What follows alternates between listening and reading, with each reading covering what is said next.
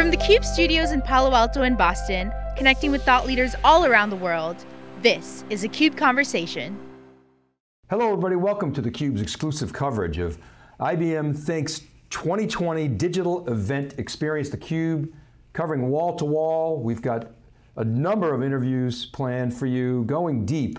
My name is Dave Vellante, I'm here with Stu Miniman. Stu, how you doing? Doing great, Dave. So we're socially distant, as you can see, uh, in the studio in Marlborough. Everybody's you know, six feet apart. We've got our masks on, took them off for this, uh, for this segment. So Stu, um, let's get into it. So, a very interesting time, obviously, for IBM. Um, Arvind Krishna doing the, the big keynote, Jim Whitehurst, new president, so you got new leadership. Um, a lot of talk about resilience, um, agility, and flexibility, you know, which is kind of interesting. Obviously, a lot of their clients are thinking about uh, COVID-19 in that context. IBM is trying to provide solutions and capabilities. We're going to get into it, but really the linchpin of all this is OpenShift and Red Hat. And um, we're going to talk about what that means for the vision that Arvind Krishna laid out, uh, and let's get into it. Your, your thoughts on Think 2020. Yeah, so Dave, of course, you know, last week we had Red Hat Summit. So right. Red Hat, is still Red Hat. You and I had a nice discussion uh, going into Red Hat Summit. Yes, $34 billion acquisition. They're now under IBM. Jim Whitehurst slides over in that new role as president. Um, but you know, one of the questions we've had fundamentally, Dave, is does an acquisition like this, will it change IBM? Will it change the cloud landscape?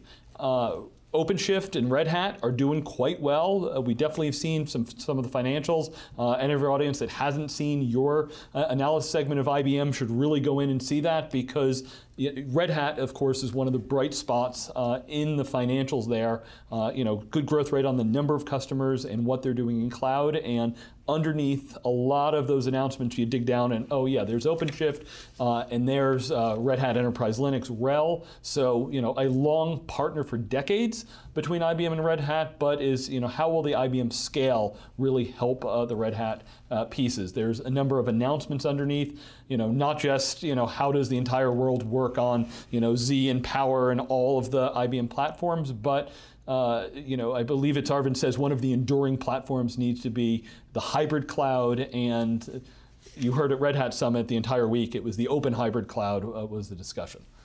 Well, yeah, so the, actually it was interesting, you brought up Arvind's sort of pillars. There were three enduring platforms that he cited, and then the fourth, of course, is, is I guess, open hybrid cloud. But the first was mainframes, the second was, and I'm not sure if this is the right order, the second was services, and then the third was middleware. Um, so basically he's saying, excuse me, we have to win the day for the architecture of, of hybrid cloud.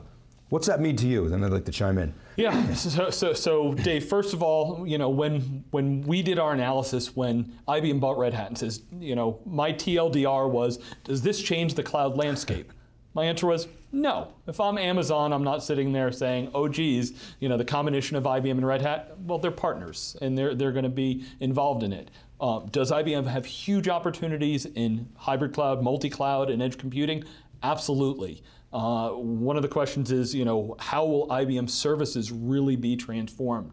Uh, you know, Dave, we've watched over the last decade, some of the big service organizations have really shrunk down. Cloud changed the marginal economics. You've done so much uh, discussion of this over the last handful of years uh, that you need to measure yourself against the hyperscalers. You need to, uh, you know, see where you can add value. And the, the question is, Dave, you know, when and where do we think of IBM in the new era?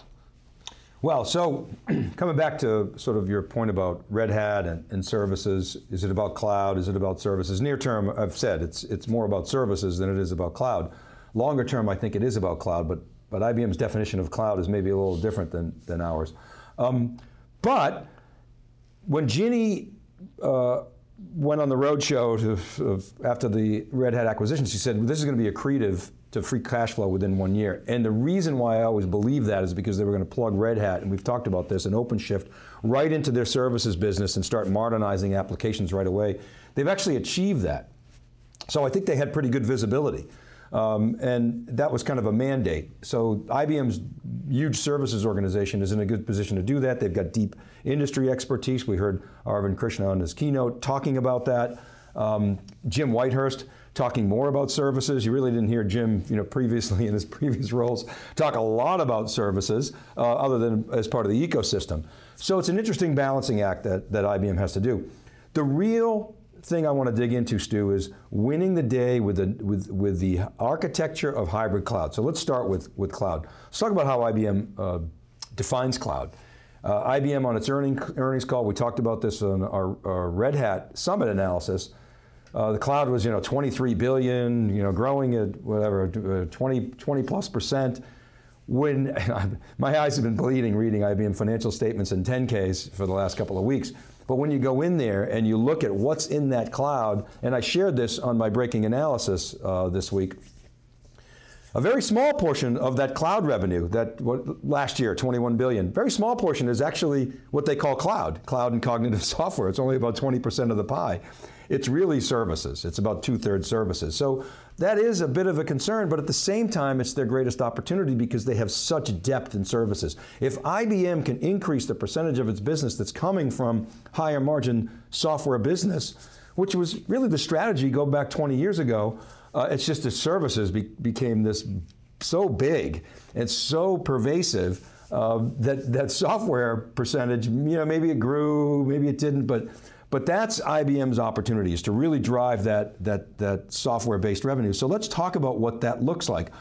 How does OpenShift play in that IBM definition of cloud, which includes on-prem, the IBM public cloud, everybody else's public cloud, multi-cloud, and the edge?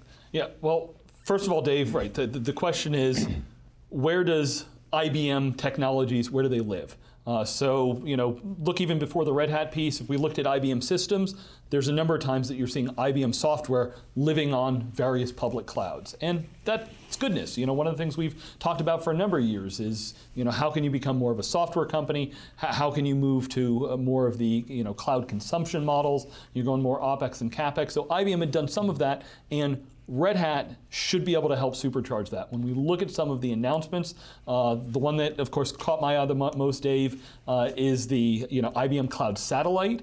Uh, would would say the shorthand of it, it's IBM's version of Outposts. Mm-hmm. Um, and underneath that, what is it? Oh, it's OpenShift underneath there. And you know, how can I take those pieces? And we know OpenShift can live across you know almost any of the clouds.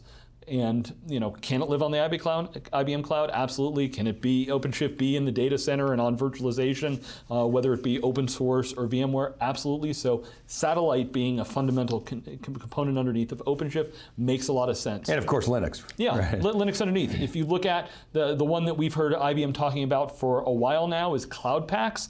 Is really how are they helping customers to simplify and build that cloud native stack? You start with Red Hat Enterprise Linux, you put OpenShift on top of that, and then Cloud Paks are that simple tool set for whether you're doing data or AI or integration. That middleware that you talked about in the past, uh, IBM has way that, ways that they've done middleware for decades, and now they have the wonderful open source to help enable that. Yeah, so. I mean, WebSphere, Bluemix, what is it, IBM Cloud now, but but OpenShift is really that, that PaaS layer that, yeah. that IBM uh, coveted. Uh, right, know. and I, I, was talking to some of IBM's partners getting ready for this event, and they say if you dig through the 10K, Cloud Paks is one of those that, you know, there are thousands of customers that are using this, so it's good traction. Not just, hey, we have this cloud stuff and it's wonderful, and we took all of these acquisitions every everything from SoftLayer to software pieces, but you know, Cloud Paks is you know, a nice starter uh, for companies to, to help really move forward on some of their cloud native application journey. Yeah, so what, what we talked about this past week in the breaking analysis, and certainly David Floyer has been on this as well, is this notion of being able to run um, a Red Hat based, uh, let's call it a stack, uh, everywhere. And Jim Whitehurst talked about that. Uh, essentially, really, whether it's on-prem, at the edge, in the clouds, but the key there, Stu, is being able to do so natively. So every layer of, you know, the, of again, call it the stack, IT services, the data plane, the control plane, the management plane, all the planes, uh, being able to, the, you know, networking, the transport, et cetera, being natively able to run wherever it is so that you can take fine grain uh, uh, advantage and leverage the primitives on respective clouds. The, the advantage that IBM has, in my view, I'd love your thoughts on this, is that Red Hat based platform is it's open source. And so, I mean, is somebody going to trust Amazon to be the the cloud native, anybody's cloud, uh, you know, solution? Well, if you're part of the Amazon stack, I mean, Amazon, frankly, and, and Oracle have a similar kind of mindset. You know, Red Stack, Amazon stack, make it all homogeneous, and it'll run just fine. IBM's coming at it from an open source perspective, so they, they in some ways will have more credibility, but it's going to take a lot of investment to really shepherd those standards. They're going to have to put a lot of commitments in, um, committers. Uh, and they're going to have to incent people to actually adhere to those standards. Yeah, I, I mean, Dave, it's the, the idea of PaaS, the platform as a service that we've been chasing as an industry for more than a decade. Um, what's interesting if you listen to IBM, what's underneath this? Well, it's you know taking advantage of the container-based architecture with Kubernetes underneath. So can I run Kubernetes anywhere? Yeah, pretty much. Every cloud has their own service. OpenShift can live everywhere. The question is what David Floyer is rightly putting out okay, if I bake to a single type of solution, can I really take advantage of the native offerings? So the discussion we've always had for a long time is do I virtualize something, in which case I'm really abstracting away. I get to, you know, I can't take advantage of the, the, all the various pieces. Do I do multi-cloud, in which case I have some least common denominator um, way of looking at cloud because I, what I want to be able to do is get the value and differentiation out of each cloud I use, but not be stuck on any cloud. And yes, Dave, Red Hat with OpenShift and based with Kubernetes and the open source community, um, is definitely a leading way to do that. What you worry about is saying, okay, how much is this stuck on containerization? Will it be able to take advantage of things like serverless? You, you talk to IBM and say, okay, underneath it's going to have all of this wonderful components. Dave, when I talked to Andy Jassy and he says if I was rebuilding AWS today, it would all be serverless underneath. So what is that underlying construct? You know, is it flexible and can it be updated? Uh, Red Hat and IBM are going to bridge between the container world and the serverless world with things like Knative, um, but absolutely we are not yet at the nirvana that developers can just build their apps and know that it can run anywhere and take advantage of anything. So, you know, some things we know we need to keep working on. So a couple other things there. So Jim Whitehurst talked about um, ingesting innovation. That the nature of innovation is such that it comes from a lot of different places. Open source obviously is a you know, fundamental you know, component of that. He talked about the telco edge. Um, he gave an example of Vodafone. Arvind Krishna talked about uh, Anthem, kind of redefining healthcare post-COVID. So you're seeing some examples. Of course, it's good that IBM puts forth some really you know, proof points. It's not just you know slideware, which is good. I think the the interesting thing, you know, you can't just put you know containers out there and expect the innovation to find its way into those containers. It's going to take a lot of work to make sure that as those different layers of the stack that we were talking about before are, are actually going to come to fruition. Uh, so there's there's the there's some other announcements in this regard. So these edge commu- edge computing uh, application manager, let's say the telco edge, a lot of automation focused. Uh, you mentioned IBM Satellite. There's the financial services cloud. So we're seeing IBM actually, you know, sp- sprinkle around some investments there. Uh, as I said in my breaking analysis, I'd like to see them dial up those investments a little bit more, maybe dial down the return of cash at least for the next several years, to shareholders. Yeah, I mean, Dave, the, the, the concern, you, you would talk to most customers and you say, well, if you try to even optimize your own data center and turn it into a cloud, how can you take advantage of the innovation that the Amazon, Microsoft, Googles, and IBMs are, are, are, putting out there in the world? You want to be able to plug into that. You want to be able to leverage the, those new services. So that is where it's definitely a shift, Dave. You think about IBM over 100 years, usually they're talking about their patent portfolio. Um, I, I, think they've actually opened up a lot of their patent portfolio to help attack uh, you know, the COVID-19. So it is definitely a very different message and tenor that I hear under Arvind Krishna, you know, in very early days than what I was used to for the last decade or two uh, from IBM. Yeah, well, at the risk of being a little bit uh, repetitive, one of the things that I talked about in my breaking analysis is I highlighted that Arvind said he wants to lead with a technical story, which I really like. Arvind's a technical visionary. Uh, his predecessors, his three predecessors, were not considered technical visionaries.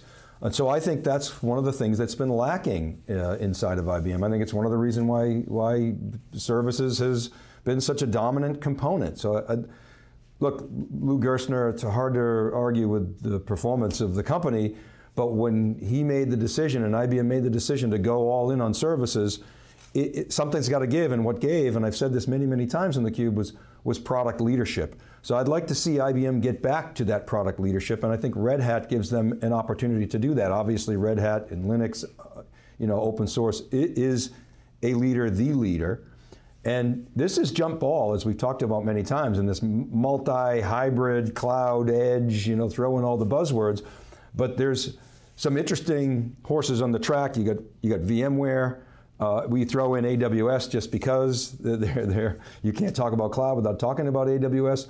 Certainly Microsoft has designs there, Cisco, uh, Google, everybody wants a piece of that pie. And I would say that you know, Red Hat with, with, with OpenShift is in a good position if in fact they can make the investments necessary to build out those stacks. Yeah, it, it's funny, Dave, because IBM, for the history, the size that they are, often can get overlooked. You talk about, you know, we've probably spent more airtime talking about the VMware Amazon relationship than almost any in the last few years.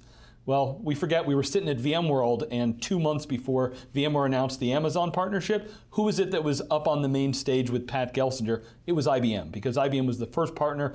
Um, I, I, believe I saw numbers that IBM was saying that they have more hosted VMware environments than anyone out there. I'd, I'd love to see the data on it to understand there, because you know IBM plays in so many different places. They just often are not, you know, aggregated and counted together. Uh, you know, when you get outside of some of the, you know, middleware mainframe, some of the pieces that you talked about earlier, Dave. So IBM does have a strong position. They just haven't been the front center leader uh, too often, but they have a broad portfolio and very much services led. Uh, so they they kind of get uh, forgotten, you know, off on the sides. So IBM's st stated strategy is to bring those mission critical workloads into the cloud. Uh, they've said that 80% of the workloads remain on-prem, only 20% have been, been cloudified. You know, when you, when you peel the onions on that, there's just there's so much growth in cloud native workloads. So, you know, there's, there is a somewhat of a so what in, in that. But I will say this. So where are the mission critical workloads? Where do they live today? They live on-prem, we can agree on that, but but, but whose stacks are running those? It's IBM and it's Oracle. And, and David Floyer has done some research that suggests that if you're going to put stuff into the cloud that's mission critical, you're probably better off staying with those, those stacks that are, that are going to allow you to a lower risk move, not have to necessarily rip and replace. And so, you know, migrating a mission critical Oracle database into AWS or a DB2 you know, uh, infrastructure into AWS is, is going to be much more challenging than, than going same same into the IBM cloud or the respective Oracle cloud. So I guess my question to you, Stu, is why do people want to move those mission critical workloads into the cloud? Do they? Well, first of all, it's unlocking innovation that you talked about, Dave. So, uh, you know, we, we looked at from a VMware standpoint versus a Red Hat standpoint. If you talk about building new apps, doing containerization, having that cloud native mindset, do I have a bimodal configuration, not, not a word that we talk about as much anymore because I want to be able to modernize it. Modernizing those applications, doing any of those migrations, we know are super challenging. Eh, you know, heck, David Floyer has talked about it for a long, long time. So you, you bring up some great points here that, you know, Microsoft might be the best at meeting customers where they are and giving people a lot of options. IBM lines up in many ways in similar ways. Um, my biggest critique about VMware is they don't have tight ties to the application. Uh, it's mostly, you know, virtualize it, or now we have some cloud native pieces. But uh, other than the Pivotal group, they didn't do a lot with modernization on applications. Uh, IBM, with their middleware history, Red Hat, with everything that they do in, with the developer communities, are well positioned to help customers along those digital journeys and going through those transformations. So it's you know, applications need to be updated. You know, if anybody that's used applications that are long in the tooth know that they don't have the features that I want, they don't react the way they want, Heck, today, Dave, everybody needs to be able to access things where they are on the go. You know, it's not a discussion anymore about you know virtual desktop. Uh, it's about you know work anywhere, have access to the data where I need it, uh, and be much more flexible and agile. And those are some of the configurations that you know IBM has history, and their services arm can help customers move along those journeys. Yeah, so you know, I think one of the big challenges IBM has is it's got a, it's got its, its fingers in a lot of pies. Um, AI, you know, they talk a lot about blockchain, talk about quantum. Quantum's not going to be here for a while. It's very cool. Uh, we have an interview coming up with uh, with Jamie Thomas, and you know she's all over the quantum. We've talked to her in the past about it. Um, but I think you know if you think about IBM's business in terms of services and product, you know it's whatever it is, a 75 you know billion dollar organization uh, two thirds, or maybe not quite two thirds, maybe 60 plus percent is services. Services are not an R&D intensive business. You look at a company like Accenture, Stu. I think Accenture spent last year 800 million on R&D. They're a 45 billion dollar, 46 billion dollar company. So if you really isolate the IBM, you know, company to to products, whatever, call it 25, 30 billion, they spend a large portion of that that revenue on R&D to get to the 6 billion. But my argument is it's, it's not enough to really drive the type of innovation that they need. Uh, just another, again, Accenture data point, because they're kind of a, a, gold standard along with IBM, EY, and others, and, uh, and a couple of others in, in services. They return 76% of their cash to shareholders. IBM has returned consistently 50 to 60% to its shareholders. So Arvind stated he wants to return IBM to growth. You know, every, every IBM CEO says that. Ginny, I used to talk about, has to shrink to grow. Uh, as I said, unfortunately, she, she ran out of time, and now it's up to Arvind to show that. But to me, growth has got to come from fueling R&D, whether it's organic or inorganic. I'd like to see you know organic as the real driver for obvious reasons. And I don't think just open source in and of itself obviously is going to attract that, it'll attract innovation, but whether or not IBM will be able to harness it to its advantage is the real challenge, unless they're making huge, huge commitments to that open source. And in a microcosm, you know, as a kind of a proxy, we saw what happened to Hortonworks and, and Cloudera because they had to, had to fund that open source commitment. You know, IBM, we're talking about much, much with the hybrid multi-cloud edge, a much, much bigger uh, opportunity, but, but requirement. And we haven't even talked about AI. You know, bringing, you know, I, think, I think you have a quote on, you know, data is the fuel. What was that quote? Yeah, so it was Jim Whitehurst. He said, data is the fuel, cloud is the platform, AI is the accelerant, and then security, I, I, my, my, paraphrase is the mission control uh, there. So uh, sounds a lot like your uh, innovation cocktail that you've been talking about uh, for the last year or so, Dave. But uh, Yeah, data, it, AI, cloud. Um, but so, okay, but AI is the accelerant, and I agree, by the way. Applying AI to all this data that we have, you know, over the years, automating it uh, and, and, scaling it in the cloud is critical. And if, if IBM wants to define cloud um, as, you know, the cloud experience anywhere, I, I'm fine with that. I'm not a fan of the way they break down their cloud business. I think it's bogus, and I've, I've called them on that. But okay, fine.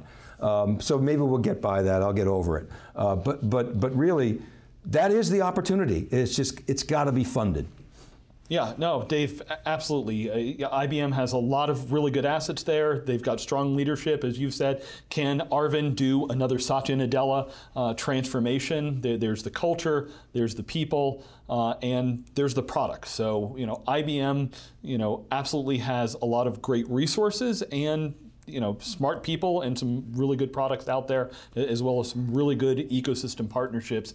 Um, it's it, you know Amazon is not the enemy to IBM. Microsoft is a partner uh, for what they're doing, uh, and even Google uh, is somebody that they can work with. So you know I, I, always say back in the 10 years I've been working for you, Dave, I, I think the first time I heard the word co-opetition, I thought it was like an IBM trademark name because they were the ones that really you know led that as to have a broad portfolio and work with everybody in the ecosystem ecosystem, even though you don't necessarily agree or partner on every piece of what you're doing. So in a multi-cloud AI, uh, you know, open ecosystem, IBM's got a real shot. Yeah, I mean, a, a Satya Nadella-like move would be awesome.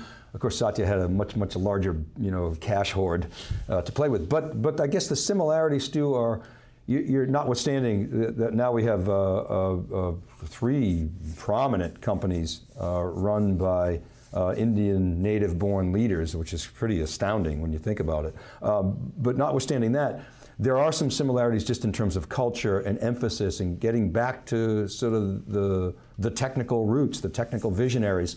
Um, so I'm encouraged, but I'm watching very closely, Stu, as I'm sure you are, kind of where those investments go, uh, how, how it plays in the marketplace. But, but I think you're right. I think people underestimate IBM, and, and uh, but the combination of IBM Red Hat could be very dangerous. Yeah, Dave, uh, how, how many times did we write the article, you know, has the sleeping giant of IBM been awoken? So I think it's a different era now, uh, and absolutely there's, IBM has the right cards uh, to be able to play at some of these new tables, um, and it, it's a different IBM for a different era. Somebody said to me the other day that, and this is probably, you probably heard this, you have too, but it was first I heard of it, is that within five years, IBM had better be a division of Red Hat versus the other way around. So, all right, Stu, thanks for, for uh, helping us set up uh, the IBM Think 2020 digital event experience. Uh, we're coming at you wall to wall coverage. I think we've got uh, over 40 interviews lined up, Stu. You, you uh, have been doing a great job uh, both last uh, week with the uh, Red Hat Summit and helping out with IBM Think. so thanks yeah, for yeah, that. Dave, no, no rainy week at uh, the new Moscone like we had last year. Uh, really good content uh, from the, the comfort of our remote settings. Yeah, so keep it right there, everybody. This is Dave Vellante for Stu Miniman. Go to siliconangle.com. You'll check out all the news. Uh, the, thecube.net will have all of our videos. We'll be running wall to wall. Wikibon.com has some, uh, some of the research action. This is Dave Vellante for Stu Miniman. We'll be right back right after this short break.